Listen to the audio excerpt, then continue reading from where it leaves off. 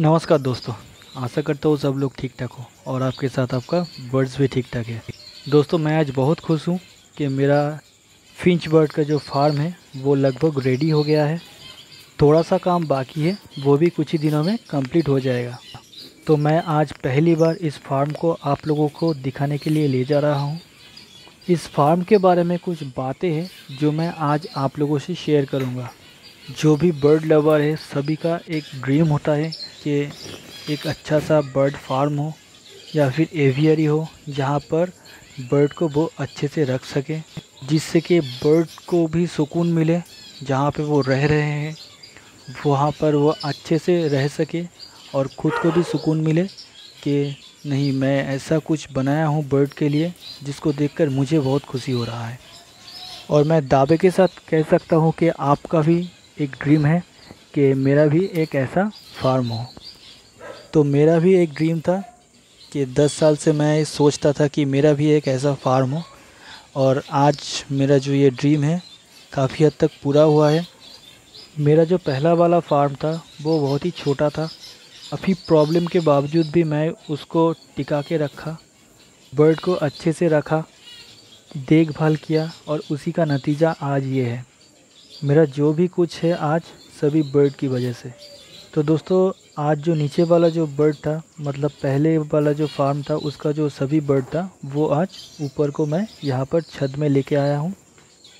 पुराना जो फार्म था, वहाँ पर डेढ़ सौ पेयर बर्ड था और यहाँ पर अभी 180 पेयर बर्ड रखा हुआ है। और मैं अभी चाहूँ तो 20 पेयर और भी लगा सकता हूँ। मतलब कि 200 पेयर का कैपेसिटी वाला रूम अभी ये है। कुछ पुराना केज है, जहाँ पर मेरा पापा पहले कोकटेल पालता था, लाबर्ड पालता था। तो वो केज मैं यहाँ पर रखा हूँ। ये सब केज बहुत सारा जगह लेता है।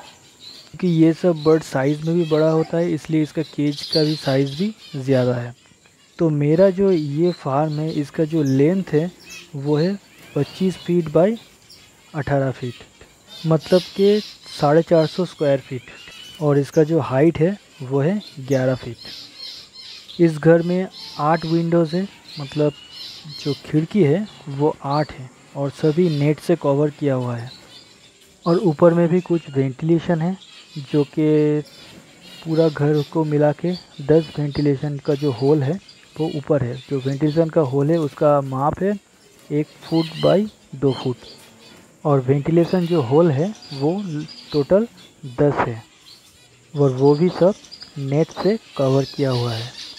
तो वीडियो में आप पहले से ही देख चुके होंगे कि बाहर कुछ बर्ड खुला घूम रहा है। वो सब जाइंट और जम्बो फिंच का पेयर है। लगभग पंद्रह पेयर जो है बर्ड है, यहाँ पर छोड़ा हुआ है। इतने बड़े घर में पंद्रह पेयर तो कुछ ब्रांचेस लगा दिया हूँ मैं, जहाँ पर बर्ड बैठता है। कुछ पेड़ पौधा लगा दिया हूँ। आज ही ये सब मैं ला के यहाँ पर लगाया। अगर ये सब पौधा ग्रो कर जाए तो देखने में भी बहुत अच्छा लगेगा। ऊपर यहाँ पर मैं कुछ मनी प्लांट का जो पेड़ है, वो भी लगाया हूँ। ये जो पेड़ है, वो ये बहुत ही टफ़ होता है। थोड़ा सा पानी मिल जाए, उससे ही इसका काम चल जाता है। ये ज़िंदा रहता है। इसीलिए ये सब पेड़ मैंने लगाया है। तो यहाँ पर तो दो बकेट है, जहाँ पर मेरा मील वार्म फ़ार्मिंग होता है। और उसके साथ साथ आप यहाँ पर देख सकते हो वेंटिलेशन लगाया हुआ है। और ये चीज़ बहुत ही ज़रूरी है क्योंकि वेंटिलेशन एक ऐसा चीज़ है जिससे कि हवा आता जाता रहता है बाहर का और इससे कि घर का जो इन्वायरमेंट है वो अच्छा रहता है।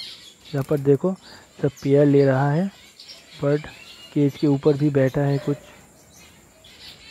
यहाँ पर देखो, सब रात हो गया है, इसलिए खुद खुद का जो सेल्टर है वो ले रहा है। यहाँ पर यहाँ पर पेड़ के ऊपर कुछ बैठा है। यहाँ पर देखो, एक पेयर यहाँ पर बैठा है। तो ये सब चीज़ देखने में भी अच्छा लगता है दोस्तों। इसको मैं इसके तरह ही रहने दूँगा। ये खुद की तरह जो बड़ा घर है, यहाँ पर फ्लाई करेगा, अपना नेस्ट खुद बनाएगा और ब्रीड भी खुद करेगा। इससे मैं कुछ छेड़छाड़ नहीं करूँगा। इसको नेचुरली रहने दूँगा। यहाँ पर देख सकते हो, सब फिंच नीचे उतर कर कुछ खा रहा है।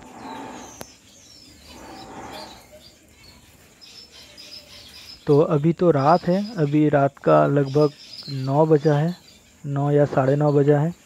तो मैं दिन में भी एक अच्छे से वीडियो बनाऊँगा, जहाँ पर मैं और भी जो ये फार्म रिलेटेड जो बातें हैं, वो आप लोगों से शेयर करूँगा।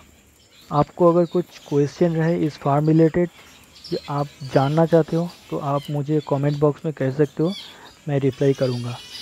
मिलते हैं नेक्स्ट वीडियो में, तब तक के लिए बाय